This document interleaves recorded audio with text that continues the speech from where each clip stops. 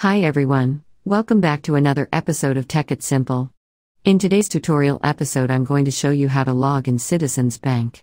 Keep watching the video till the end to learn how and subscribe to our channel by hitting the subscribe button. Press the bell icon so that YouTube will notify you whenever we post a new video. Go to your web browser and type in www.citizensbank.com and enter. Doing this will take you to Citizens' official website that looked like this.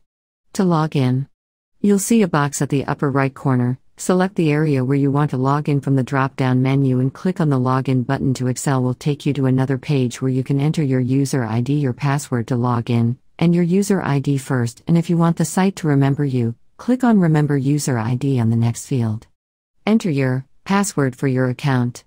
And in case you don't remember the password and are having trouble logging into your account, click on Trouble Logging and link provided under the password box and follow the instructions to reset back to a new password and log into your account smooth after entering your credentials. Click on the Login button and you'll be logged into Citizens Bank account. I hope the tutorial was helpful to you. If it was, go ahead and give it a thumbs up. Feel free to comment down below in the comment box if you have a question or feedback for us. I'll be back soon with more tutorial episodes. Goodbye till then.